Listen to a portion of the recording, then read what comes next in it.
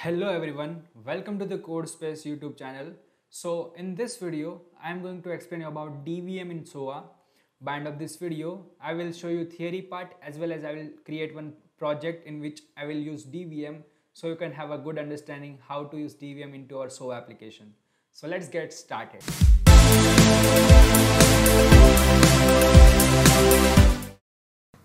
So DVM stands for domain value mapping uh, which will allow us to map values used in one domain with specific fields with another domain. So let's understand it with one example. So yeah, this is the example. Uh, we have seen in our real life that uh, some domains are using um, country code and some another domain, suppose domain 2 uh, is using country name. Okay, so that's where uh, DVM comes into the picture. What DVM does is uh, it will convert uh, domain specific values to another domain specific value. So here we have in in one domain like domain one in, is accepting in country code and another domain is accepting india country name. Okay. So yeah we will map that thing uh, by using dvm okay. I hope you understood this. Uh, and uh, yeah by this is the dvm lookup value function. So this is the function dvm uh, colon lookup value. And let's understand uh, parameters here. So we have to pass five parameters. Uh, the first parameter is uh, don't worry like if you are not getting this don't worry we'll see later when we'll create our project. Uh, you will have a good understanding. But for now just uh, clear these things. We have to pass five parameters while using this function. First parameter is dvm metadata uri so we have to pass uh, like dvm name into this first parameter. Okay. So this is this will be our dvm name. Then second parameter is con uh, second parameter is source column name. Okay. So here we we are having country code as a source column name. Okay. So that's why we have passed country code here. Then uh, another parameter is a source value. So when we'll create schema then we have to pass that variable here uh, as a source value. Okay. So we will select that uh, variable here uh, and we will pay we will use that variable. Okay. And then another parameter which is target column name. So we want to uh, we want to specify country code as a tar sorry i have done okay here is country name right? So we have to pass the source column name. So we want to pass country name as a source column name. That's why we have taken country name here and uh, then we have to uh, add one uh, default value parameter here. So we haven't given anything here. You can give anything. So if we are not uh, passing anything into dvm then uh, that will take default value uh, what we have given here. Okay. So that's why we have to pass default value. If we want we, if we haven't added anything then that will take default value. Okay. I hope you guys understood this so, so now uh, rest of the things we'll see later. Now first of all let me go into my JDeveloper. We'll create one project and uh, we will understand it with uh, we will understand that with very clearly. Okay, so yeah, I have already created one project. Uh, I will use that project schema for our convenience. Okay, so let me first create one project which uh, will be our SOA project. Okay, so I will I will choose SOA project.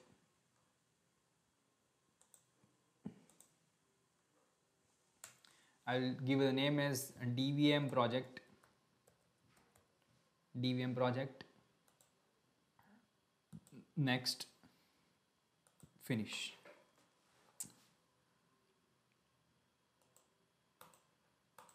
okay so now as you can see our project uh, got created. Now uh, we have to create one schema. So for now I will just create one empty schema here and we'll paste that schema's value. So we don't have to create schema from scratch. So I'll create one schema here XML schema. And I'll give name as uh, DVM DVM schema or I can give something else which is uh, test schema. Okay test. Okay. Okay so as you can see our schema got created. Now i'll just paste uh, paste uh, things from this schema. So I, I will open this and I'll just copy paste this source to here. You can also create this. This is very simple thing okay? So let me go here so as you can see uh, we have one request uh, element. Then we have uh, some uh, child elements like employee name and uh, country code. Okay. And we, in our response we want uh, employee name and we don't want country code. Instead of country code we want country name. So that's why i have created this element here. So that is the thing. Now uh, now our schema got created. Now what we'll do now we'll go into our project and now we will add one synchronous process here.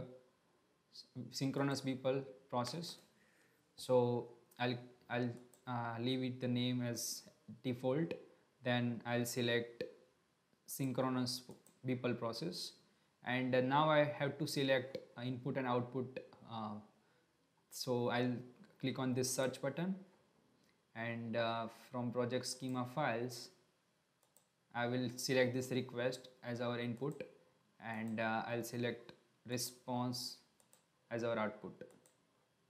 Okay and I'll click on OK here.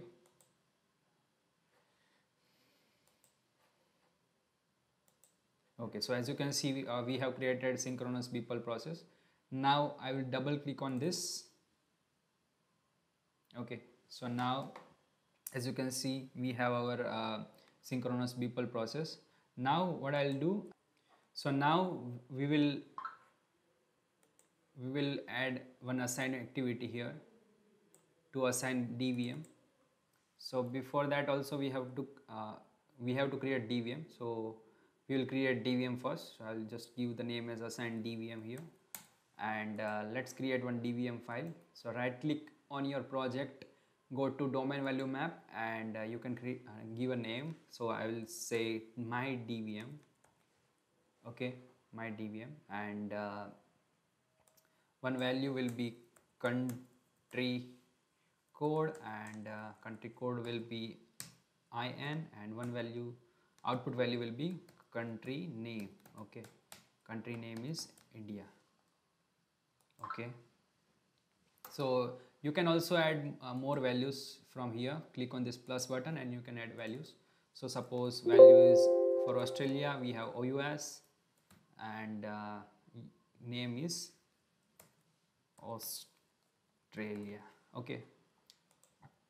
Okay. So uh, this is for fine for now. Okay. So we have created successfully our dvm file. Now uh, we we have to assign that dvm file here so click on this assign and uh, click on this output.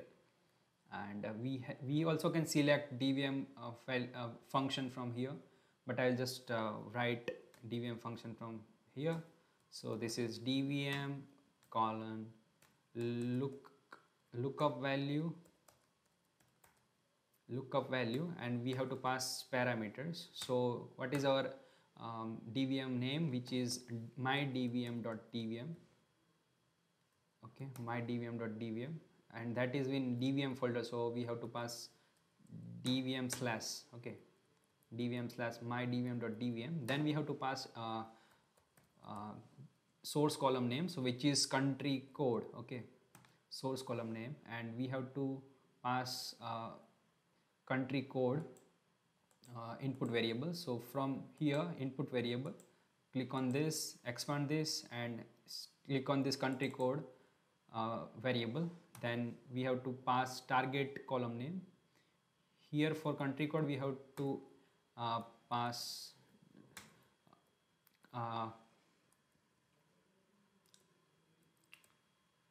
in, in, in this string okay? And uh, for country name we have to write this uh, column name okay? So i'll say country name as a target column name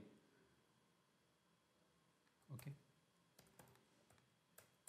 name okay in quotes okay. Now we will not pass any default values so i'll i will uh, pass empty string here and uh, yeah that's thing that's the uh, we have passed our five input variables uh, sorry input parameters here and click on ok button. And uh, okay it got created. Now uh, we also have to add one transform activity here. So that will transform uh, this input to our output.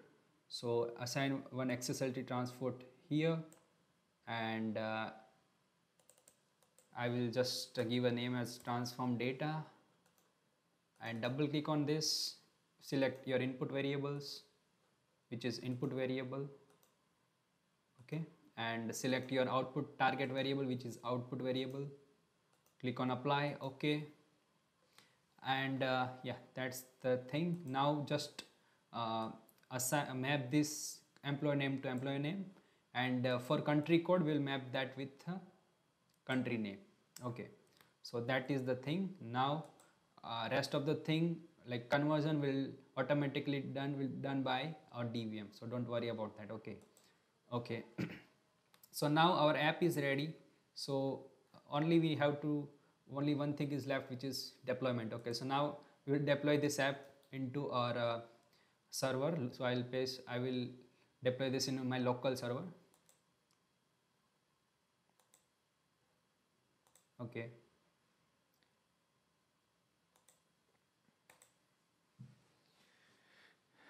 Okay so i will uh, choose default folder okay so until it uh, it is deploying into our server let's go to our slides.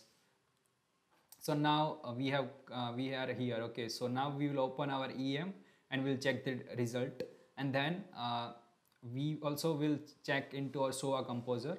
If we want to update something into our DVMs and then we don't need to add anything into our code okay. We don't have to write here and we have to again deploy the thing. That is not the case uh, this is the this is the magic of DVM so while using DVM we can update our DVM from server. So that is the good thing. So later we will uh, will go to our composer and we'll uh, update our DVM okay. So for now we'll just go to our EM and uh, we'll test the uh, our application. Okay. So now I will open my localhost EM now uh, I will pass my credentials. Okay so now I'll click on this sign in button. Okay so now our enterprise manager got opened. So now I will click on this panel and uh, now I'll go in this SOA folder then SOA infra. And we will go into our SOA folders so click on the SOA folders then default and uh, here we will have our application. Okay so as you can see we are having this dvm project which we have created uh, recently. So now i'll click on this project and uh, we'll test this. So click on this test button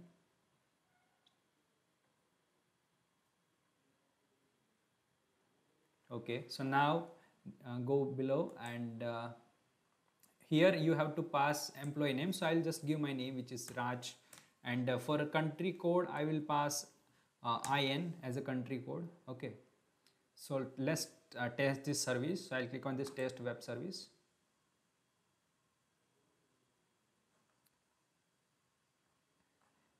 Uh, we are getting some error. So let me check that error